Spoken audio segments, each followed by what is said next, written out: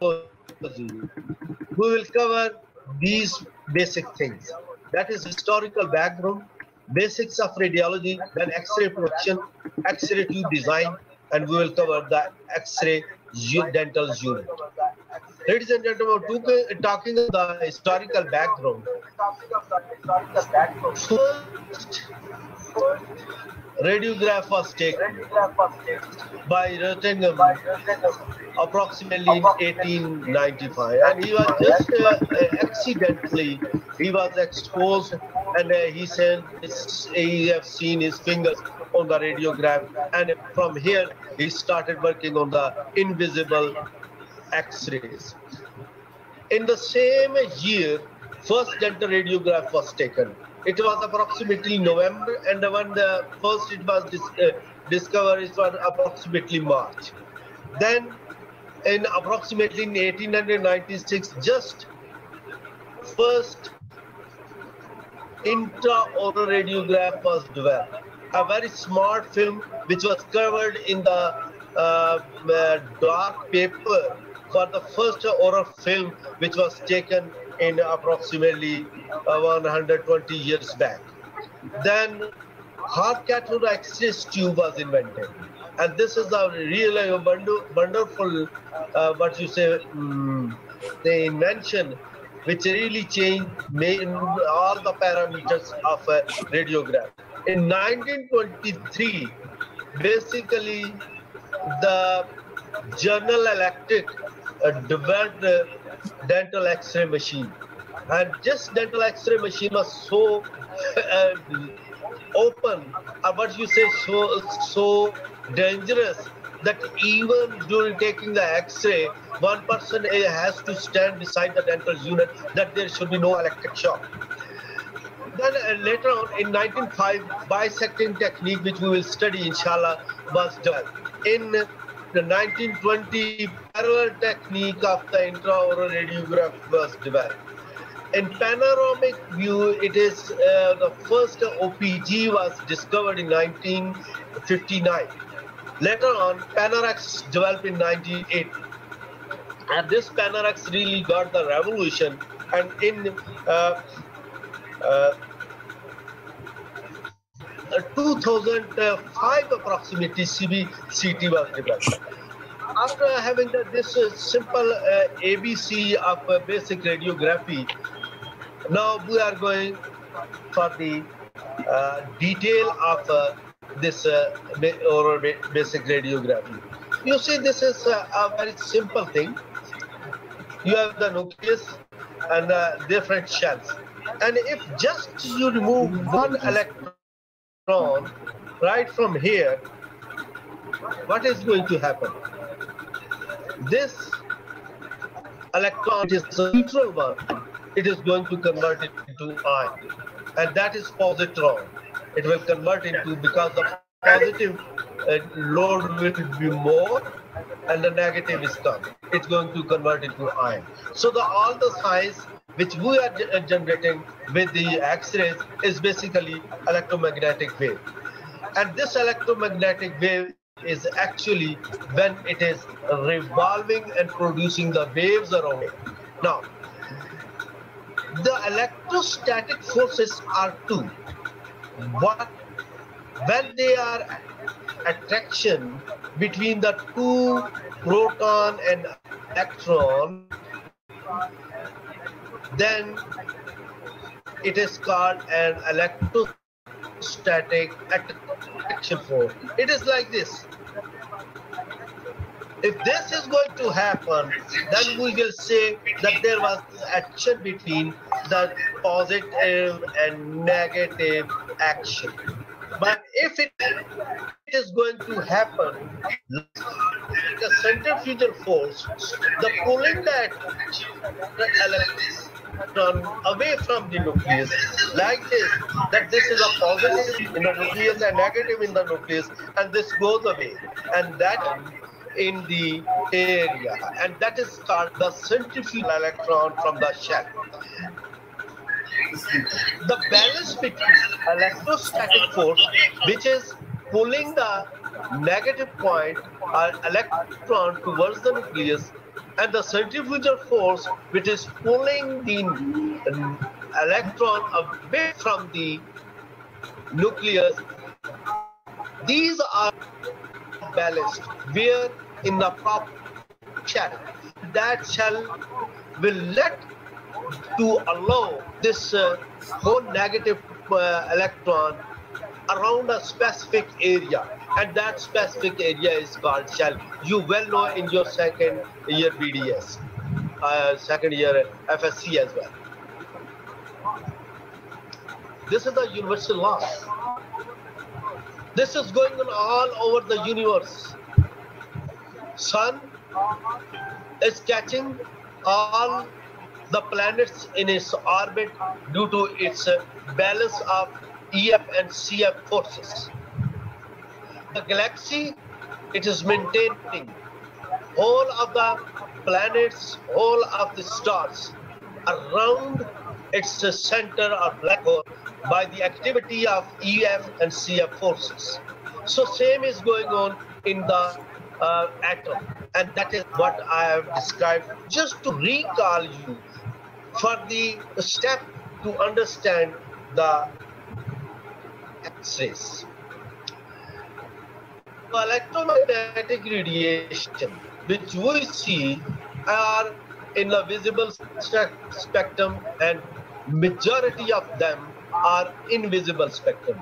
Remember very nicely, 380 to 730 nanometer is that spectrum where our retina can see beyond to 318 nanometer below to that we cannot see. And above to 730 nanometer we cannot see. Our visible light spectrum is only between the 380 to 730 nanometer. Above and below we cannot see. Our retina can very small you send thousands and thousands and millions and millions wavelength are there.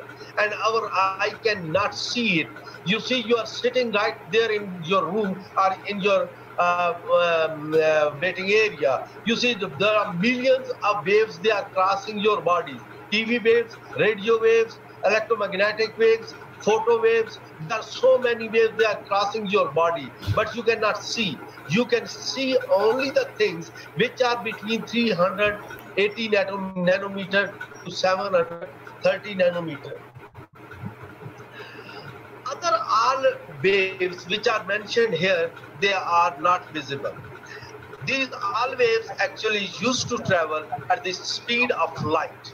And you well know, yet we have no, they are now saying, there's one uh, new theory coming, that there are certain particles which are powerful more than that of the speed of light. But they, they, this is not just the invention of 2019 that this research is going on, that there are the particles, what is called the God particle, I don't know what is the mean of the uh, depth of this, that they are saying that now this is uh, uh, more than the speed of light. But uh, yet uh, you see that we, at this level, we understand that there's nothing more uh, speedful or more powerful than which can travel more than the power of the speed of light. Ladies and gentlemen, if you see the electromagnetic spectrum, it is like this. You see the all the rays which are coming from the sky, they cannot reach to the level of the sea. It is only the visible light which has the power that which can penetrate to whole of the spectrum and reach to the sea light. While the X-rays you see, it has less power to penetrate deep up to the sea level.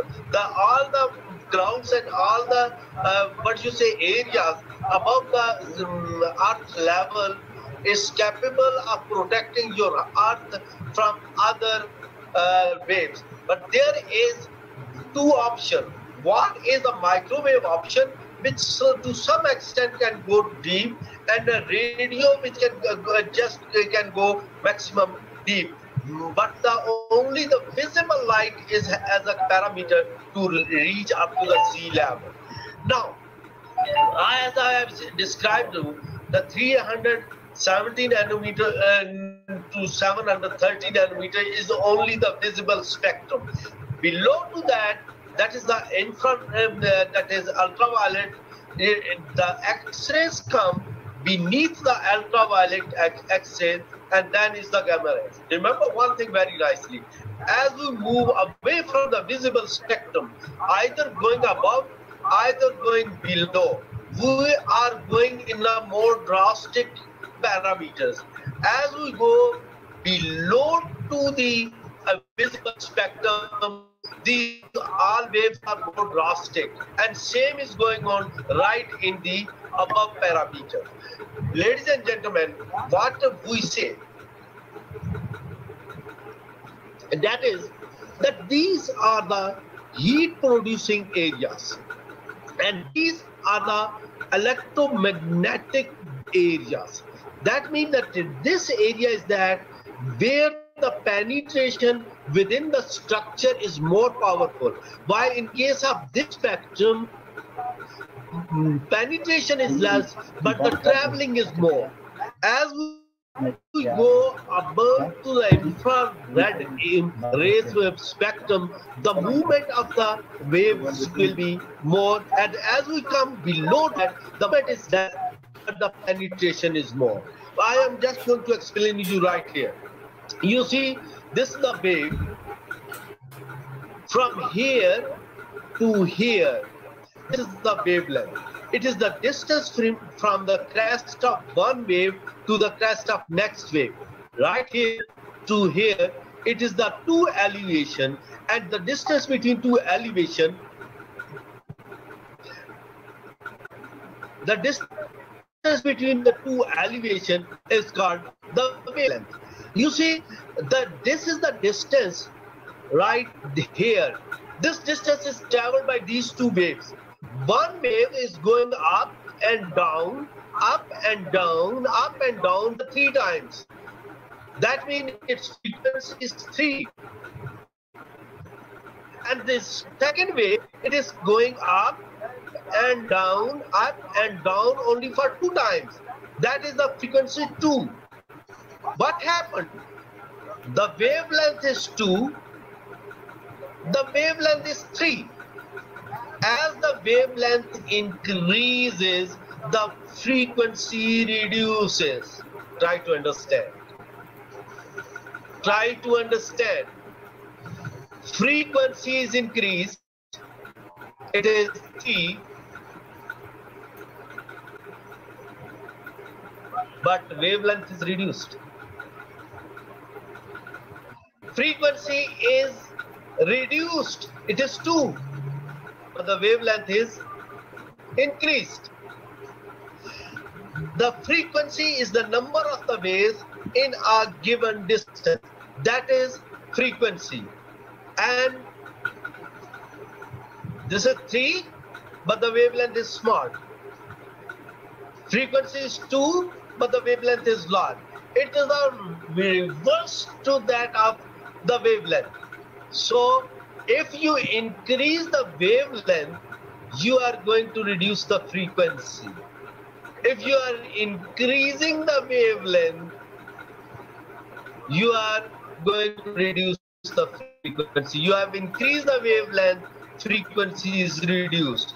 You have reduced the wavelength, frequency is increased. So that is the basic concept which must be in your mind before understanding the radiography. Now, this is a question to all the audience, approximately 50 audience are sitting there. See the radio waves, TV waves, visible light, X-rays, gamma rays and cosmic rays. First question, which of the above example of electromagnetic wave has the shortest wavelength?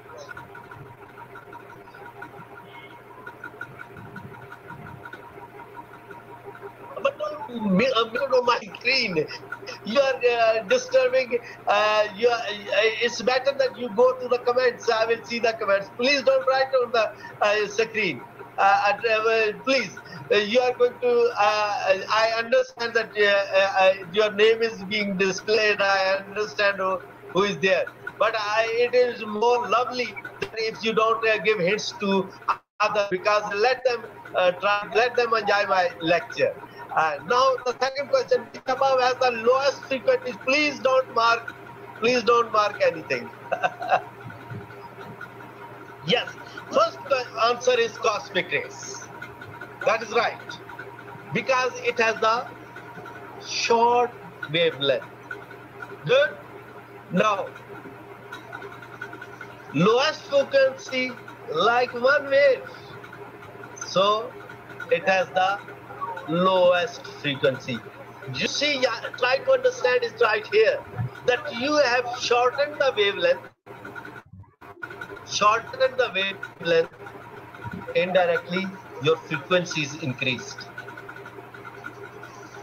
Here you have increased the wavelength. This much big wavelength is there. That means you have reduced the frequency and that is radio wave.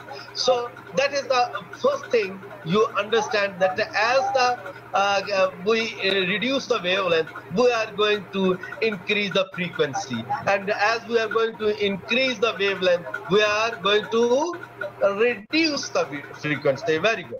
Now, next question. Which of the above X-rays has highest energy? Not good. Very, uh, very naughty guy. If you are going to display it again, I will request you, please don't do it. Uh, you are going to not getting the benefit of that because I like that everybody should learn. Uh, uh, don't uh, be uh, annoyed. I'm just requesting, please. Uh, A, B, C, there are three wavelengths. Please write down in the uh, um, uh, what you say in the answer book. It is right in the comments. Please write down there. Which of the above X-ray has the highest energy? It is lovely one. Uh, I want to just I want to uh, just add one just add after that minutes, after two minutes uh, the meeting will uh, be disconnected uh, because it will take minutes. Yeah, uh, it will be minutes. Just forget a little bit. Uh, it is gonna be end uh, sharp at or meeting gonna be end uh, sharp. Okay, I I I just connect your message. All okay. the audience, okay. please stay in your uh, box uh, it is going to be over just in one minute and after one minute we are going to restart with the same id and with same everything. Uh, don't go away. We will uh, restart again. It is just meeting uh, we have uh, two minutes left and as soon as the meeting will be uh, closed we will restart the meeting again at the same ID and same just you go back and click again and you are going to come back again in the same ID.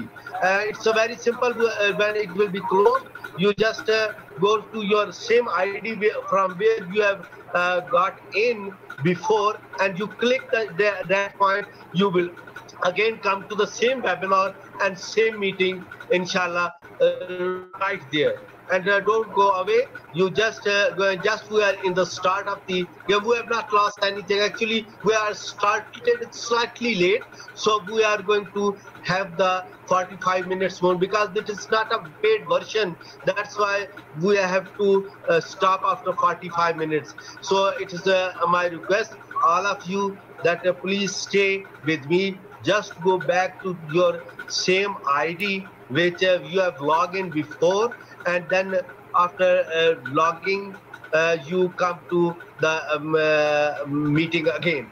And that is what we are going to we will continue right from here from where we are going to stop. And i think that is we are going to have the stoppage of our meeting right now. And we are going to restart our meeting right from the, the same ID which you have uh, started this meeting again and you are going to join this meeting again with the same ID and the same uh, um, uh, um, identity. Uh, I think that uh, we are waiting for the restart of the meeting and just we are going to have the, the restart and that restart inshallah we are going to get uh,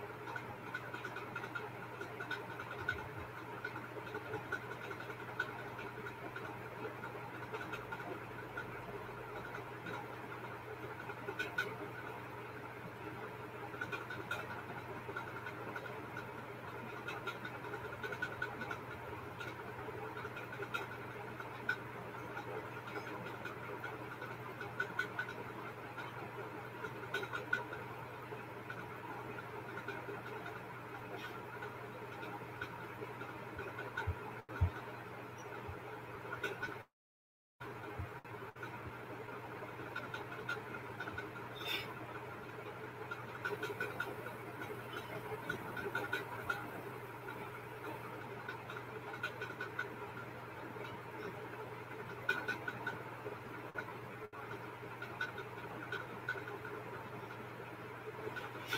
again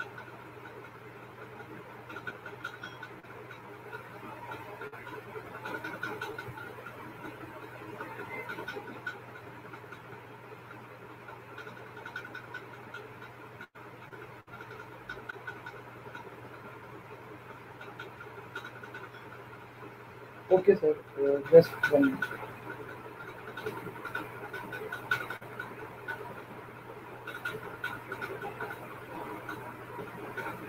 Sir, you can share now.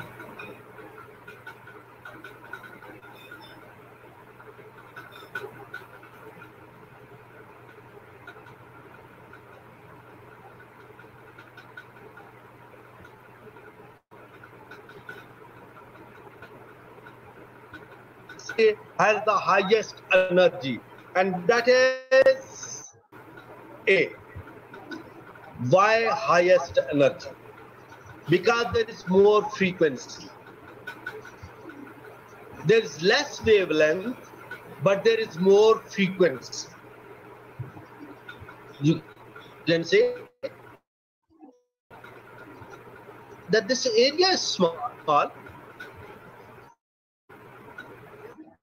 this frequency is more, why energy is more?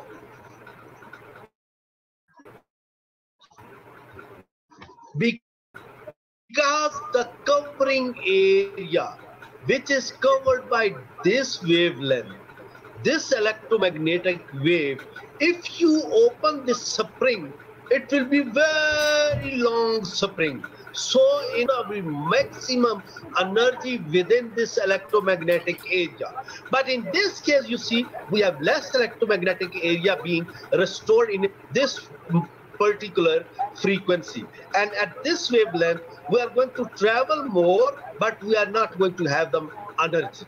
So that is the highest energy is A. Now, what is ionization? It's very simple.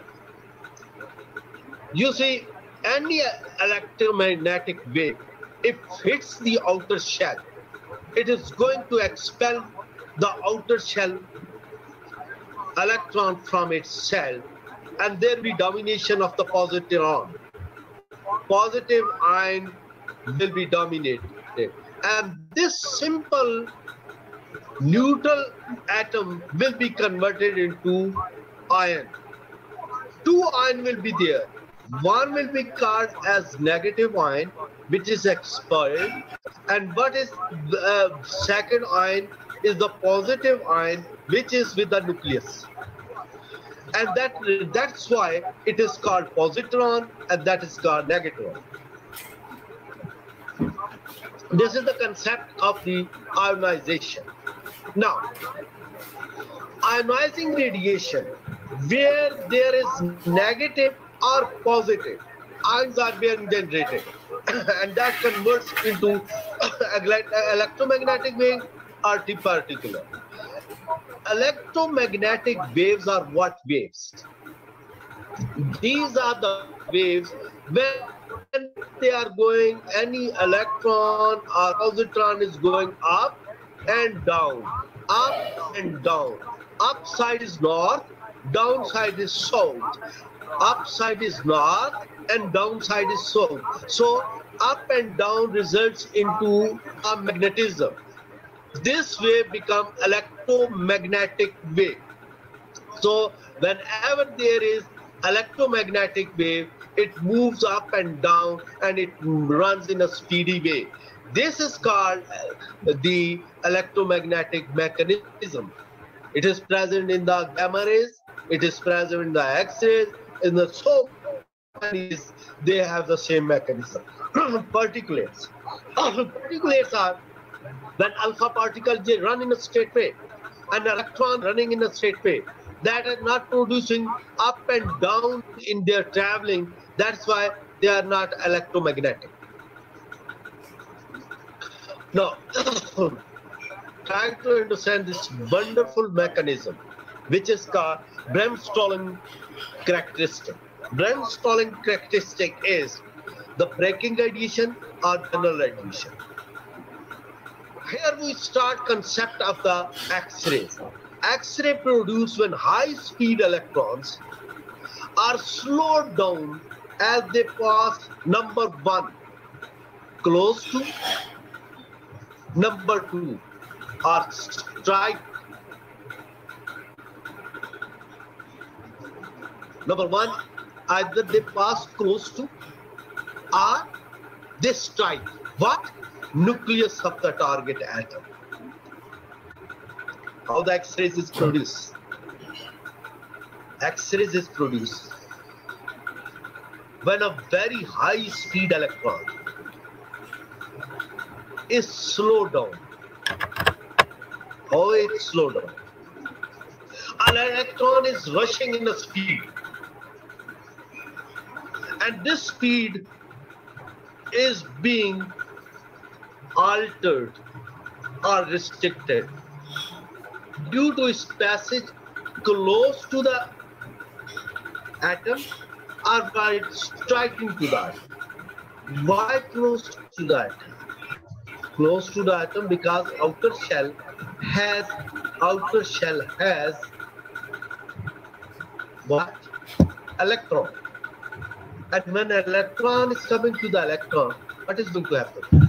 It is going to expel the electron. So it was not let it uh, strike the atom. But if the atom hits the nucleus, then the speed is also slowed down. In both ways, either it is stopped or either it is being hit in the target uh, atom, it is going to produce X. How?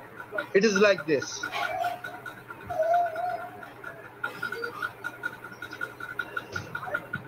high-speed electron from the filament enter to the tungsten atom. Remember one thing, the tungsten is that metal which is a very high atomic number, a very resistant, very resistant to heat and that is that when any high-speed electron from filament enter to the tungsten atom, what is going to happen? It is going to release one thing. One is X-rays like this and second is the electron which has hit the nucleus and it is coming back. I generate it again. High speed electron is coming, hitting the nucleus. Second side, the electron come out. You got my point? And how this, the Bremsstrahlung X-ray production is there. Now, The second is where the maximum energy is produced two. And now it strikes the nucleus and it is gone. It has vanished in the nucleus. And whole of its energy is converted into X-ray production. These are the two basic principles. One, it strikes, it has given some energy, and its energy is being delivered to out, and the electron has repelled out from the nucleus. Second, it has struck the nucleus, but the whole of the electron is being converted into electromagnetic wave. Now, one thing I am going to ask all of you. Now, the first, uh, the, the, uh, first thing that happened, you see here, it has struck the atom and see the wavelength. See the wavelength here. It is a long wavelength. So the frequency is less. On the second part, you see, when the whole electron is vanished in the nucleus, like this, the, but the wavelength is produced, you see, it is a small wavelength. So the frequency is more. So on the second part, we are going to understand one thing, that when the electron vanishes within the nucleus, it is going to produce maximum energy. But when it is going to have just a part of it which is being converted into X-rays, it has less frequency. Now, what is the criteria? Uh, I request the person who has marked this uh, uh, pencil, can you please eradicate it? I will be thankful to you.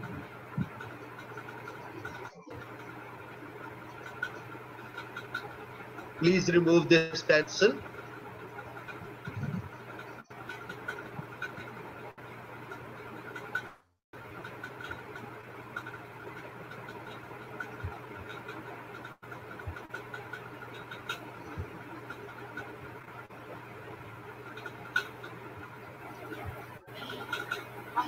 It is not good that you are disturbing like a baby's like a fun because it is a very precious time for many of you that we are going to have this uh, parameter. Don't play with this type of nasty games. You are very educated people and you are very good dental uh, is given without any financial liability to me or to you. It is just a volunteer work. Don't, please, if you are, just not going to help us, don't disturb us. The Uh, high-speed think- electron uh, your screen has been stopped.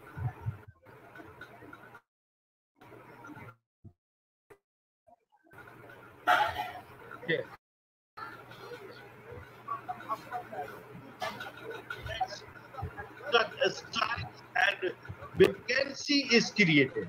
And this vacancy is being filled from the upper level. And again, energy. This is the another mechanism which I am going to tell you.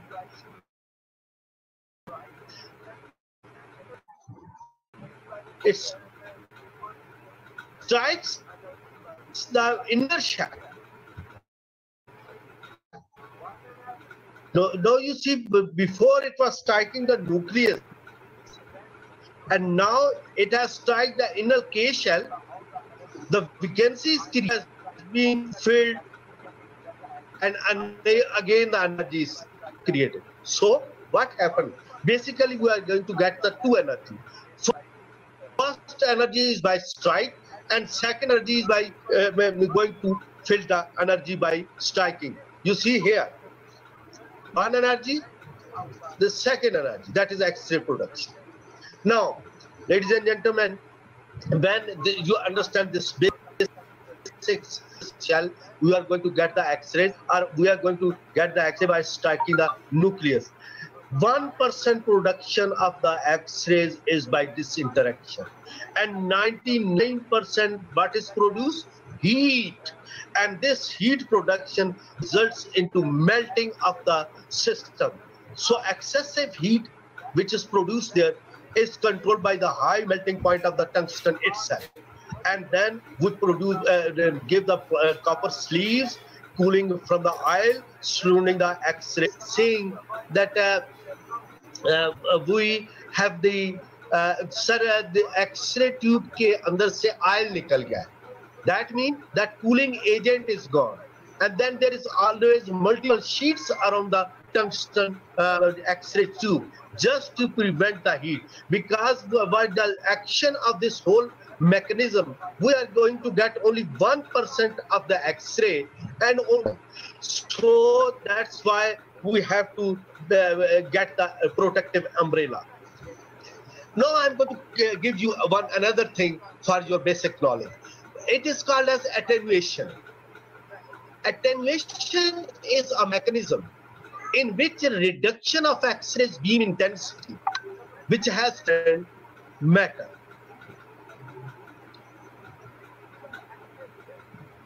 That means the but X-ray we have produced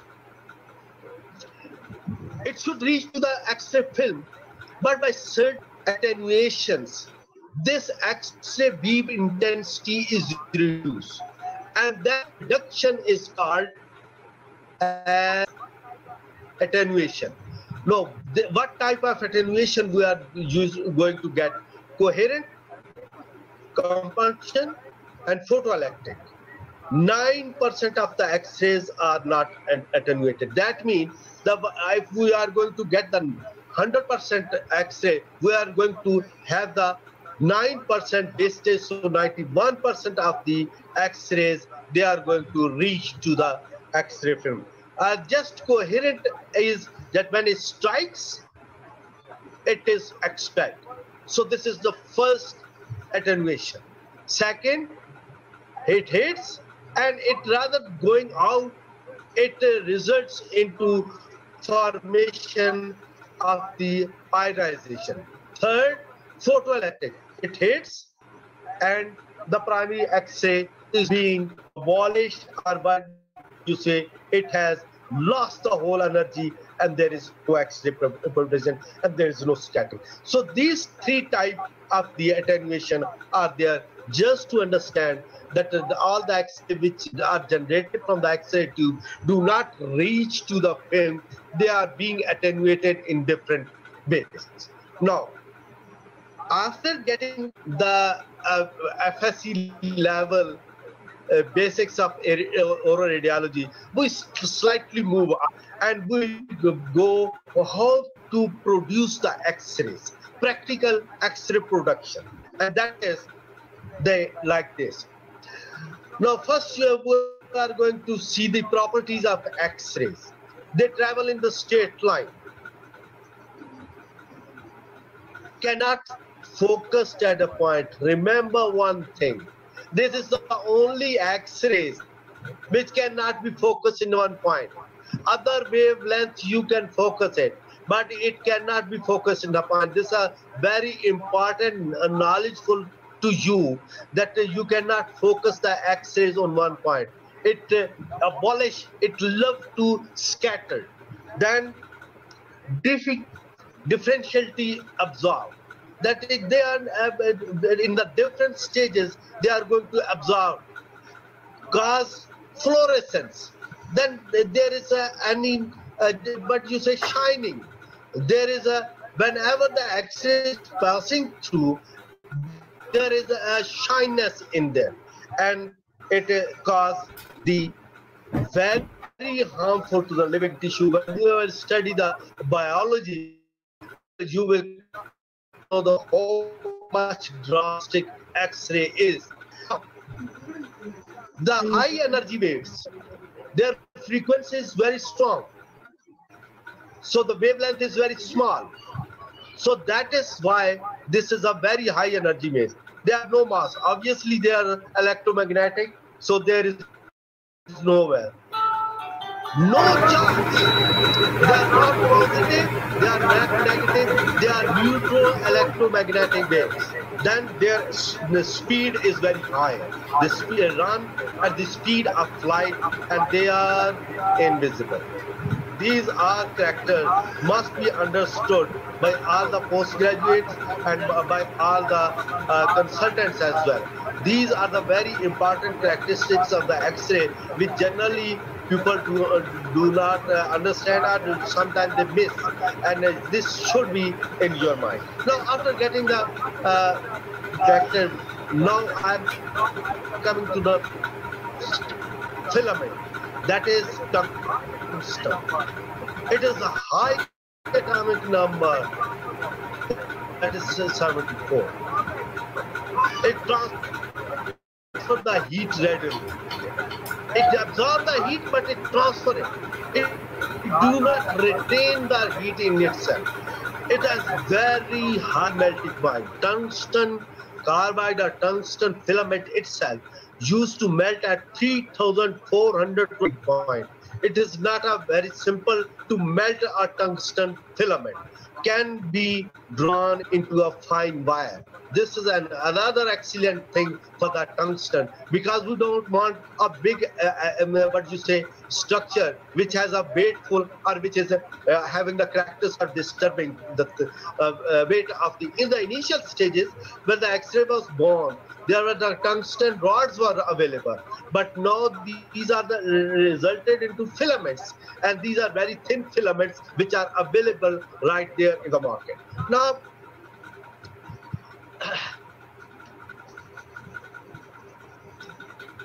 how the release of electrons the hot filament when the current flow after pressing the exposure switch would when they press the switch like uh, the X-ray machine, the hotter the filament get, greater the number of electron that has released. Now I push the button.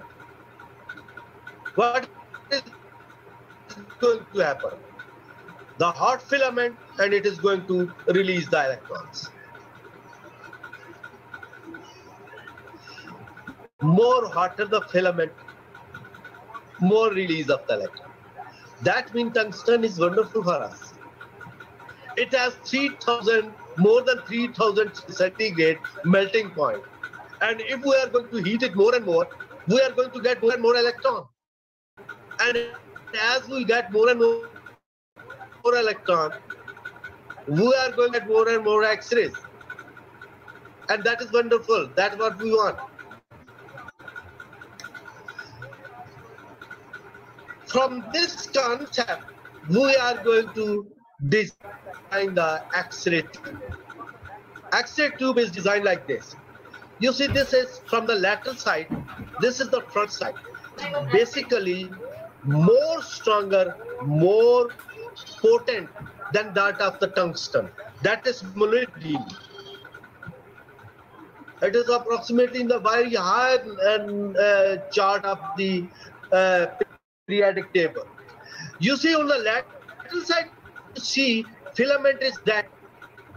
But when you see the from the front, your eye cannot even see it. It is so bright, it is so white, it is so hot that its whole area, which is right here, it is invisible. It is absolutely sharp and bright. And that is how the tungsten tube is formed. This is cathode, this is anode, and that uh, when it's travel, it is going to get. I'm going to tell you another anode. You see, this is the target anode, and from front side, you see it looks like this, but on the lateral side, these are two copper stems which have the tendency to reflect. They are very sharp mirror, which is right here target. I'm again going back just to give you understanding. This is cathode, where the filament of tungsten is placed, and it is going to generate the X-rays. And that is the anode.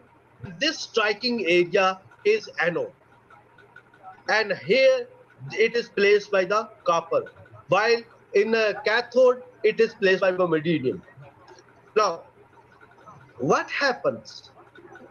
This is cathode, this is anode, and this anode is rotating. And due to rotation, it is going to give its energy on outer surface. Here the X-rays are produced. They are going to strike on the surface. This is a very reflective surface. It is going to hit the anode and this anode is reflecting the X-rays to the focusing side, to the beam, to the tube, or we can PID, position indication device. Here the X-rays are being produced. They hit the anode, which is a, has a very reflecting surface, and this after the striking to the anode, X-ray they are produced and they are being generated right here. It is like this, it is rotating and it is producing the X-rays. Now here is the tube, X-ray tube. This is cathode. This is anode. You have plugged it. The and uh, the cathode is now red. You again plug it. It is going to produce the X-rays. Going back, you see, first you heat the tungsten. It is red now. You uh, now generate the anode, resulting into production of the X-rays. So always remember the first click results into heating of the tungsten and second click results into activation of the anode which attracts the X-rays and it reflects. It is like this. You see, this is cathode which generates the X-rays. This is the target anode. From here, X-rays they travel to the positive and results into striking. You see why they make it tilted? Why they make it tilted? Why not straight? But tilting. What? That, rather than local spot point, it shift right here. It shift right here. It is PID or what you say position indicating device or what you say x-ray cone from here it goes to x-ray cone and the spot is small if it is coming like this without converging itself into a small spot the energy will be less because the area is more but while you convert it in this direction to PID, what will happen that you have the effective focal spot point because there is one point we have seen that we cannot focus it. So other than focusing, we convert it into a small area. Next, that we have this PID. But if tilt it like this, sorry, what is going to happen? The area is more and we are going to have the actual focus spot looking perpendicular to the target surface. This is apparent effective focal spot looking at the target surface to PID. It is like this. This you are get, getting, if we are focusing to the PID, it is like this. Uh, if you are focusing like this, we are going to get the focal spot of the actual size. Now, now this is another wonderful diagram before you. This is whole of the story, which I have uh, described you before. This is 220 volt electricity coming. This is the timer which you you, you are going to select according to the tooth, according to the size of the calcified area, bone or anterior teeth or posterior teeth. Timing. Then is the exposure button. Now, if I push the exposure button, what is going to happen? The energy is generated in milliamperes and it is going to activate step down transformer and going to heat the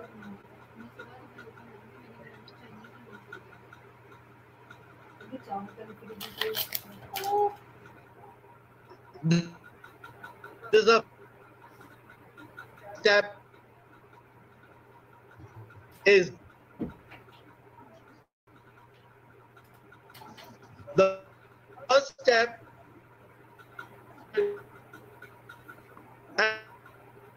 can PP this is going step transformer with generate with gen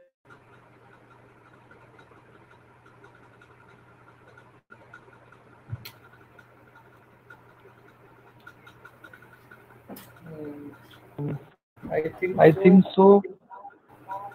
Uh, sir, uh, signals has been blocked. has been blocked. So, So, sir, you can sir, connect you can again. Connect again. I guess your I guess mic has your been. mic has been. I guess sir I has guess just sir stopped. has stopped. Just wait, Just guys. wait, guys. Uh, so I hope so. He so will he be attending in two or three minutes. Kindly Kindly stay stay here. Uh, till then, if you have any question in the uh, comment section, you can ask. I think I think sir has has done that.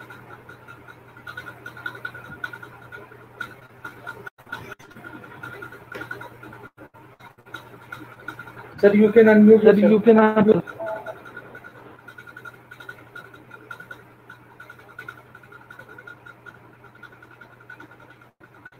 Can you hear me now? Yes, sir. I Yes, sir, I can hear you. So, sorry that uh, there is a, uh, uh, electricity gone, and due to this electricity, the my net is uh, uh, blocked. Uh, so uh, uh, uh, we will start. start. I have shown you the generation of the MAs. Now we are going to have the second step of generating KVP, and that is how the KVP generates, and it is going to generate two things. Number one, step of transformer, and second, anode and cathode again energized. And you this then what happened? That you see here the X-ray filament. It is coming. It is going to give heat, and you see this X-rays and this is the PID or what you say the uh, X-ray cone and how you get the X-ray. Ladies and gentlemen, that is the X-ray tube, which we see actually present in the X-ray. That is beryllium window. This is the from where the X-rays come out, and these are the focusing cups. And this is a very small tube, but having a wonderful invention by the human. There are certain things which a, a qualified person should know. Exposure factors, which modifies the X-ray beam. Filtration, collimation, quantity, and quality. That's just a very simple thing. Don't be afraid. I will make it very simple. First is exposure. Exposure is KVP and MA and exposure timing. KVP is the transformer which is step up. MA is the step down transformer and exposure time according to required intensity. You see, in this picture, we have placed three X-rays. This X-ray is incorrect exposure. Too many X-rays, too much energy, film too dark. This is for you to understand. When you give more energy or more X-rays to a film, you are going to get the darker image. More X-ray result into darker image. There you hold the lights, you try to understand it. Whenever there is darker image, no doubt there is developing problem. But now we, as we are uh, uh, getting the digital uh, era, developing problem is gone. So the first thing you understand that the, if the, the film uh, the, the result is darker, that means that your X-ray is more than required area. And if the X-ray is lighter, not enough X-ray or energy too low, film is too light. If the film is white, that means the X-ray energy is less. You have given less exposure or less X-ray beam, or you have given less time. Okay? Direct exposure, how I'm going to uh, come to know that this is correct exposure? Ladies and gentlemen, try to understand the three things. The three basic things are there. Number one is bone. Number two is dentine. Number three is enamel. If your X-ray can identify all these three things, that you can differentiate enamel from the dentine and the dentine from the bone, that means your X-ray is fine. All three calcified area, if you can distinguish it from each other, that this is enamel, this is dentine, and this is bone. Here you cannot distinguish where is dentine and where is enamel. And the same is here. The differentiation of bone is gone. Dentine and bone are intermingled with each other. And here you see the definite bone, definite dentine, and very clear enamel. You see, very clear enamel, very clear dentine, and very clear bone. These are the three mm, parameters to understand the accuracy of any X-ray.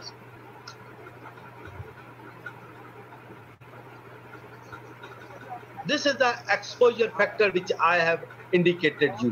More exp exposure, it is going to result into darker film. Less exposure, it is going to uh, result into lighter film, whitish film. And the correct exposure when dentine, enamel, and the bone, the, all the three are distinguishable. Now is the filtration. That is very important to understand by everyone. The process of removing low energy X-rays from the X-ray beam is called the filtration. You see, we want to get a good exposure. When the wavelengths are produced in the X-rays, there are some small wavelength, some are medium wavelength, some are slight uh, uh, good, and some are very small wavelength. We need small wavelength that we can have the better frequency. We need better frequency, and for that better frequency, you see these three wave, uh, four wavelengths are there. Number one, number two, number three, and number four. Which wavelength we require? We look at this wavelength. But this wavelength is only possible if we can stop all these other wavelengths. And what we are going to do, number one, we are going to stop the longest wavelength like this. This is done by the glass window which is placed in the X-ray tube. The longest wavelength is stopped by the glass window. Second step, oil and metal barriers. Oil is placed in the um, tube and there are the metal barriers they are pl- pl- pl- placed in the tube, which uh, re- stop the medium wavelength. And the other wavelength, which is the very nearer to the maximum short wavelength, it is being stopped the aluminium. Okay. These are the three filters which you were used to use for the stoppage of the extra wavelengths. And that is with Sir, when you see the PID, sir, after 30 This is the seconds, Sir, after sorry to interrupt you, sir. After 30 seconds, uh, the meeting in L, sorry uh, kindly let everyone know that After 30 seconds, we join the same the meeting in kindly let everyone know that after 30 seconds we Please rejoin the same room. can you please, mute all of the people? Can you mute all the people that I can go ahead for the there are so many noises there? Can you mute all the audience? Yes, sir, I have muted all the ideas already. All the audience. They are going to GP Prime and uh, uh, Sabah Khan, they are talking. Oh my god.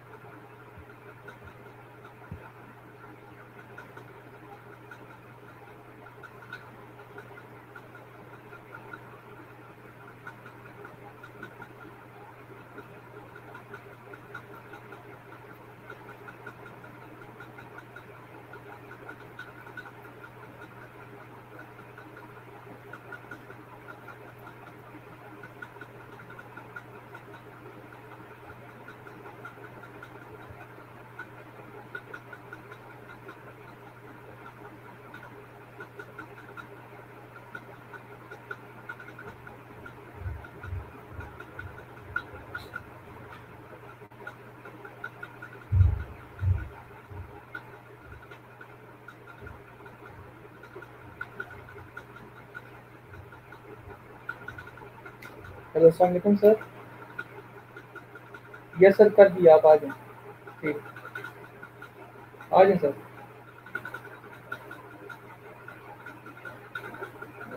Just a minute guys sir will be coming back so let me add you all let me add you all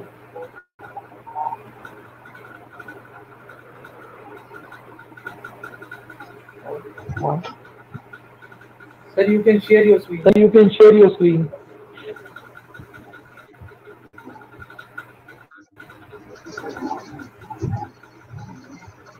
I'm uh, uh, really very sorry to our audience.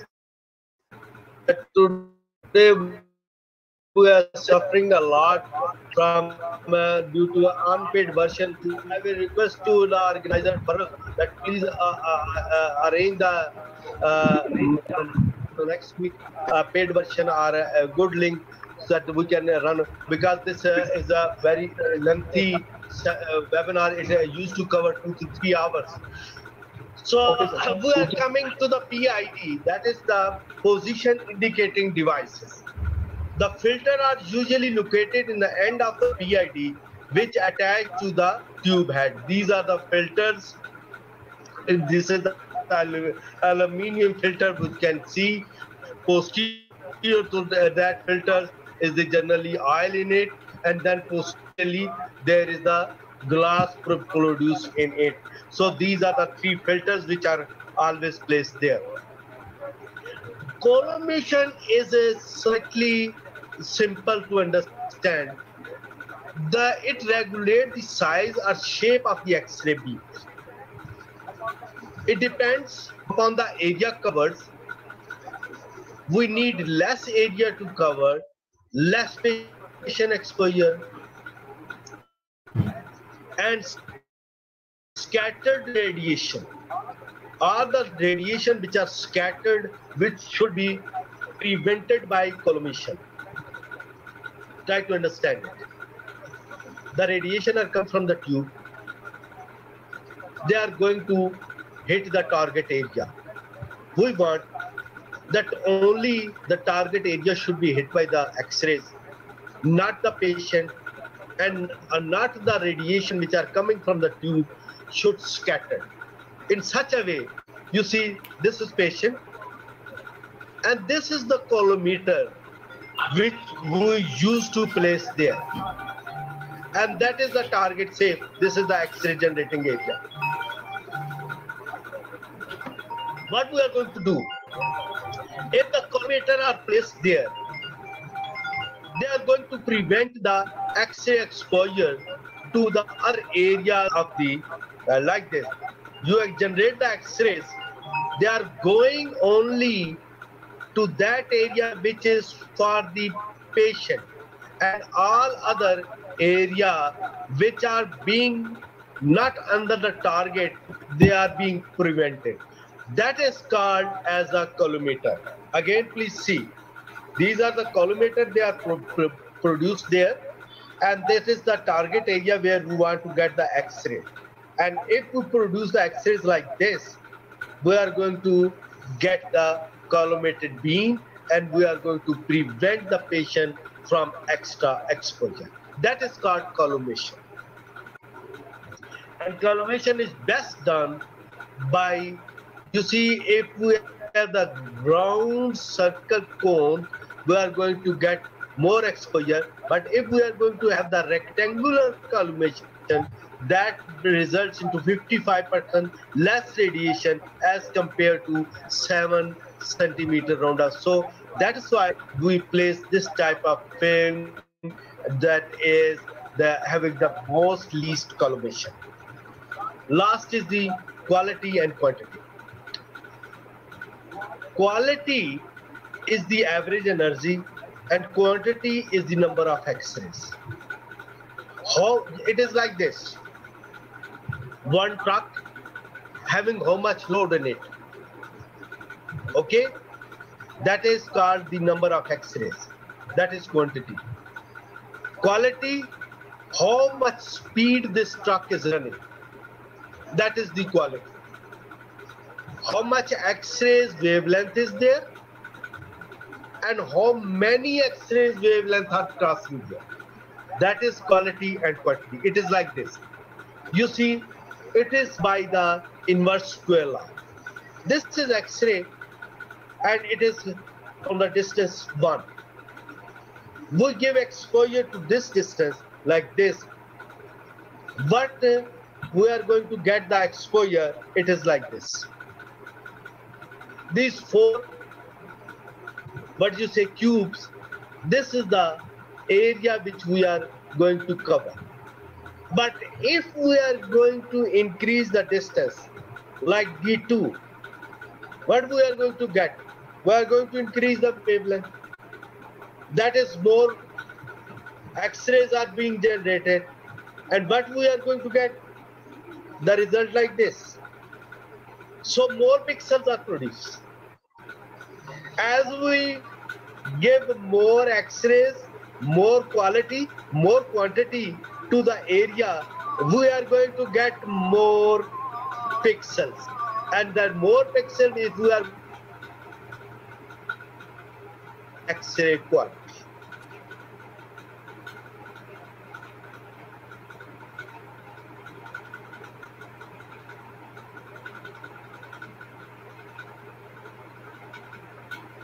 X-ray unit we have covered under the umbrella of uh, radiobiology. The response of the living system to ionizing radiation is called as radiobiology.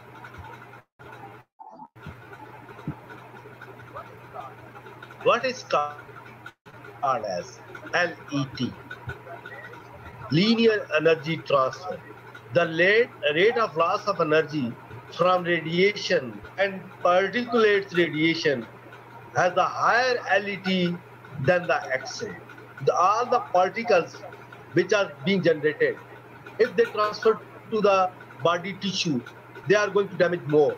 That's why ionization radiation is more dangerous than the, are the electromagnetic waves. And that is the linear transfer concept. Now, these are the two effects cytic effect and determinate effect. Cytic effect is it is occur by chance. You don't know the X-rays are there. You are sitting there and you are being exposed. Like the person who are working in the X-ray department, the X-rays are not being vanished within a, a second. It are moving throughout the walls of the X-rays, and that is why it is mandatory that we must have the lead balls. Usually, when the threshold of the dose, the probability of static effect is the increase with the increasing dose, but the severity of the response is not proportional to the dose. As the doses are coming in this room, more doses is coming down, more drastic effect of the X-rays will be there. It will cause what? Slow mutation, resulting into genetic problems as well as to cancer. And you know, these two are the main side effects of when you are, you are being exposed to X-ray radiation. Second is deteriorating effect. It increases with the severity of increasing dose with the threshold level. There's one or two exposure of the X-rays, but you have given such a drastic X-rays that it has burned the area. It has damaged the area. So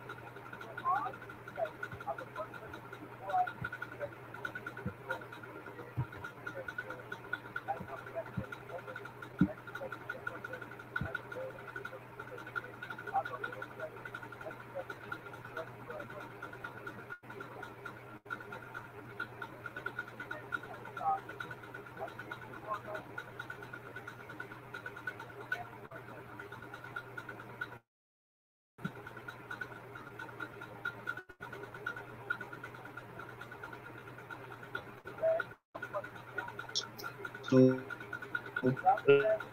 radiation. This I have given you a simple graph where the most sensitive lymphoid, reproductive cell, bone marrow, and intestinal epithelium. Moderately, skin, intestinal, and oral mucosa. So uh, here we come to understand that our oral mucosa is in between, neither too sensitive and neither very less sensitive. It is a moderately sensitive. So we must be careful in every aspect. Less sensitive, they are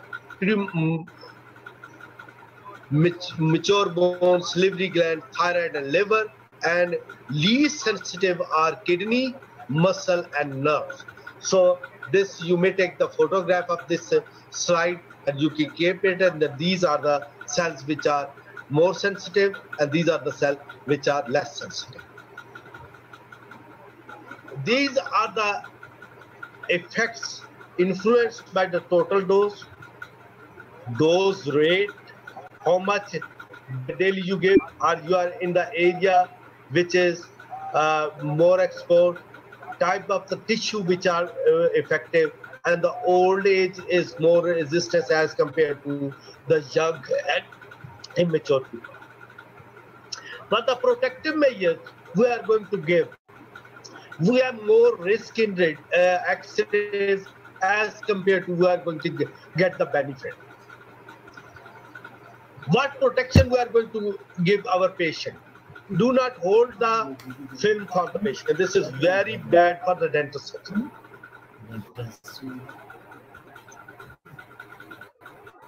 They are simple lead gloves, they are available. You can hold the film by these lead gloves. If you have to place yourself, do not place your index finger right in the mouth of the patient. Utilize the barrier if available, drive or allocate uh, uh, what you say.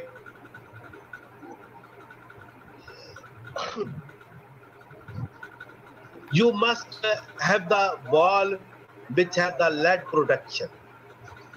Use that um, glass there.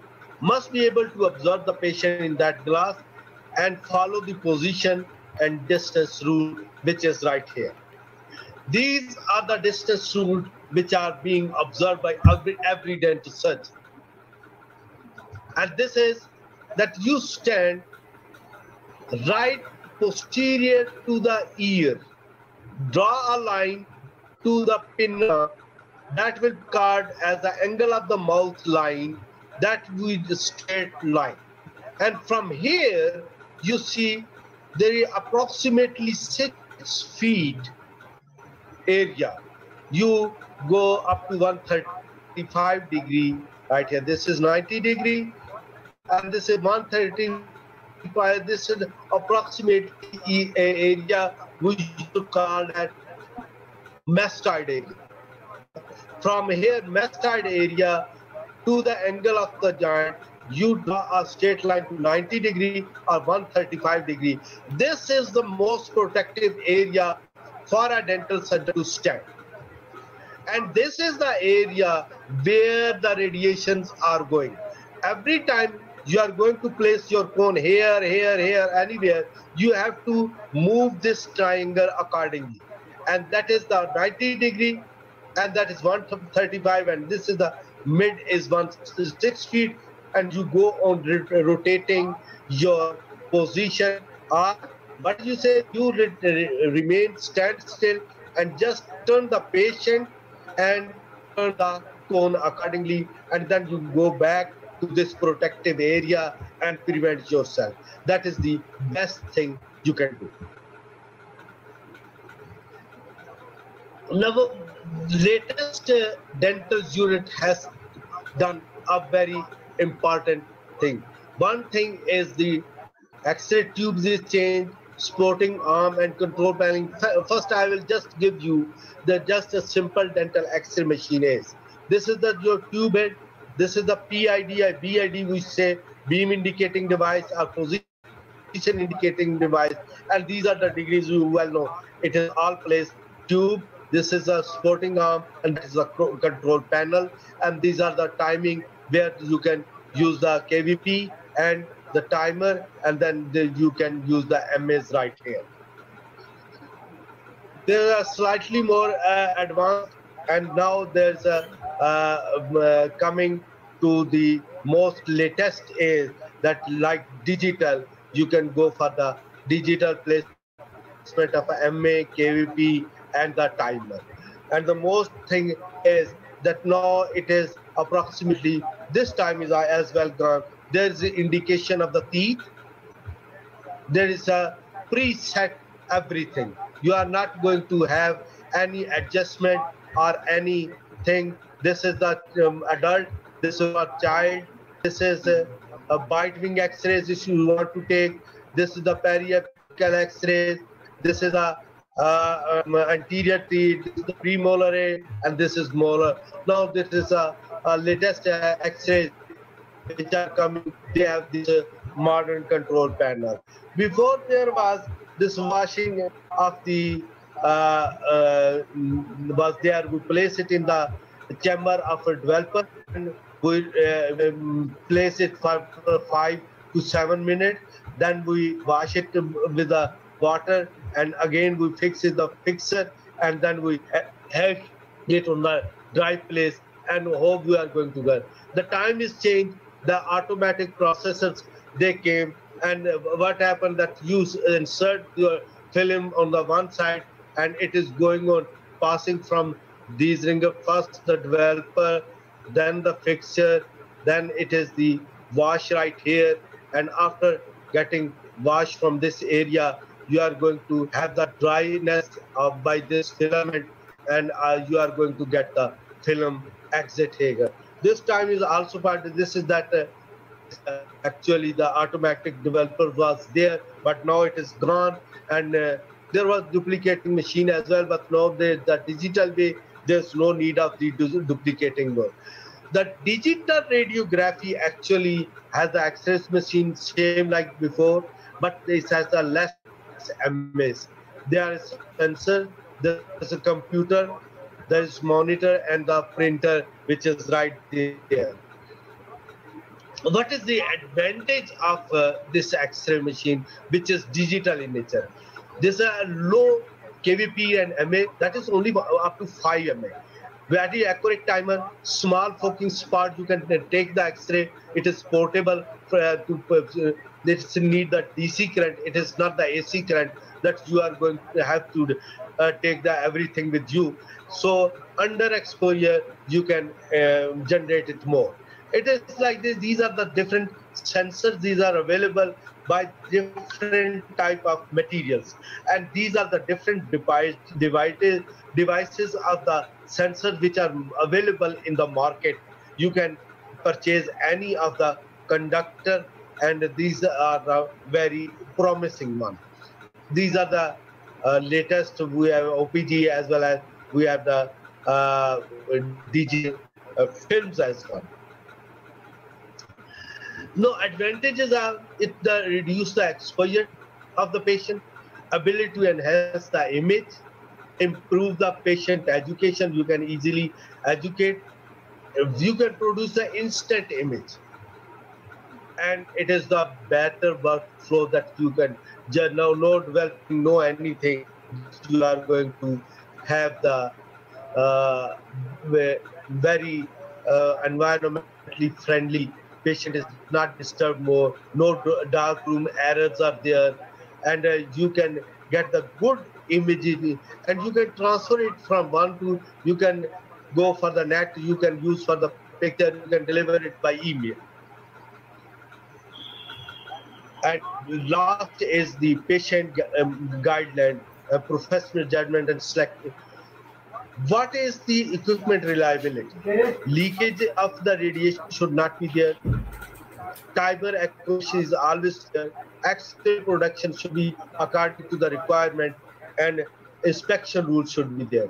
You see, we have three type of cone. One is longer one, which has 16 impulses, 12 one, 9 impulses, and short one is four impulses. As the requirement is there, you see if this is the 16, this is 8. If we are going to get the 8, we are going to get the longer and wide image. If we are going to have the long, longer tar target, we are going to get the exact image. It is like this. You are going to get the large, larger image if the target, if the cone is nearer to you. But if the cone is far distance away, you take the X-ray, it will be of the accurate size. So that is why the long cone is favored more as compared to short cone. There is another thing that if you have the long cone, but the teeth are near away from the film, you are going to get the larger image. And if you have the tooth nearer to the film, you are going to get the exact accurate magnification. These are the two factors.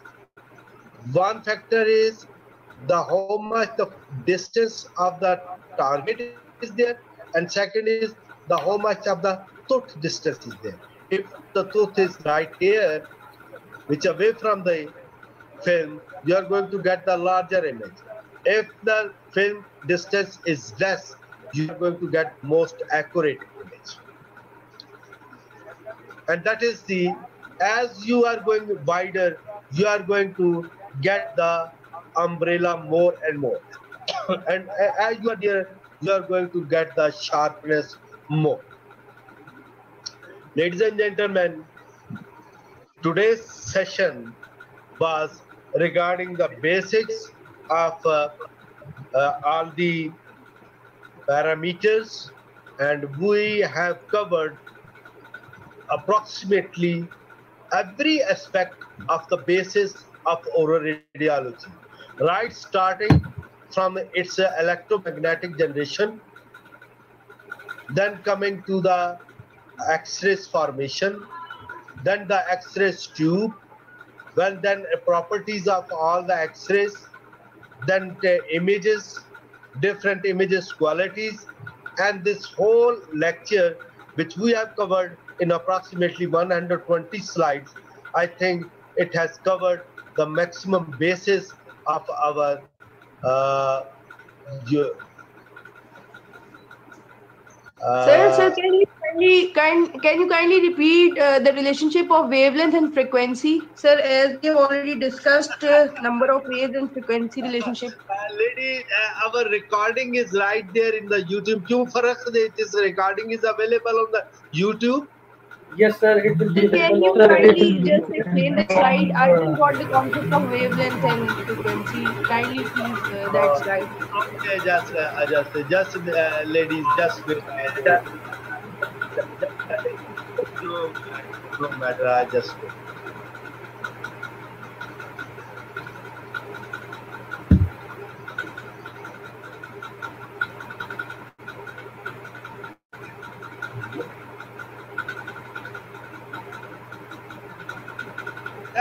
Wavelength. This is the distance a wave has to travel. Are you listening? Are you Yes, listening? sir. Ah, okay. This is the distance we want to travel. This, this wavelength is going up and down, up and down three times. So the frequency is 3. Good. Now this wavelength is going up and down and up and down two times. The frequency is 2. But the difference is when the wave traveling in a particular distance in a less time the frequency increases. The wavelength is less. It has to travel more up and down. As up and down increases, the frequency increases. On the other side, when the wavelength is increased, the distance is traveled soon, the frequency is less. So as the wavelength decreases, the frequency increases. And as the wavelength increases, the frequency reduces.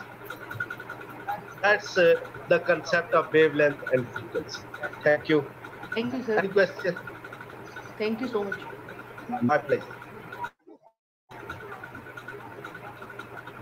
Any question? else? Thanks, sir. you can raise sir, hand and Yes, you can, yes, ask, you can ask. Sir. You can ask verbal question as well.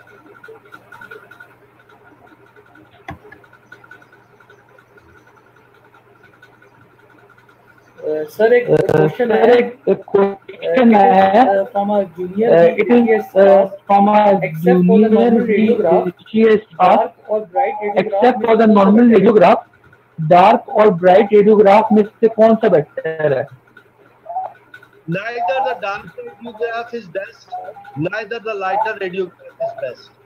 In the oral radiology, the three parameters I have given to you.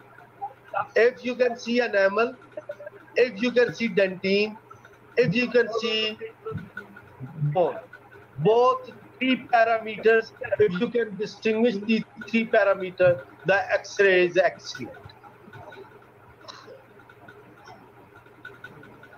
some people may add another thing which uh, sometime uh, uh, i don't think that it is a, an, uh, should be added or not they add the periodontal ligament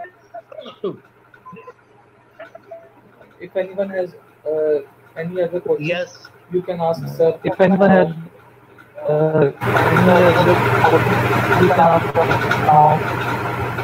Uh, also, this video will be available uh, on my YouTube channel.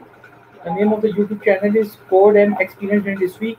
Uh, it will be Uh, published also, after the video will be available lecture So you can get uh, access on my YouTube channel. of this The name of the YouTube channel is And Experience Industry. Sir, I don't think Uh, anyone has will questions.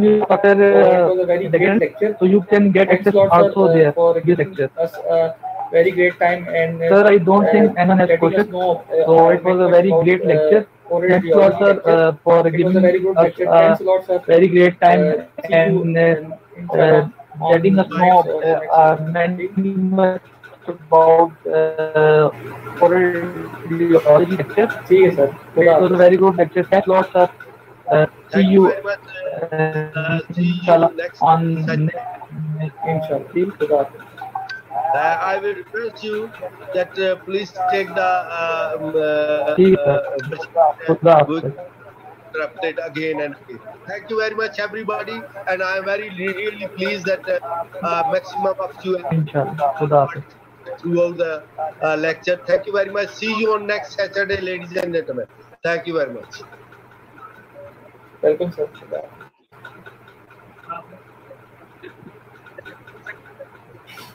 Welcome.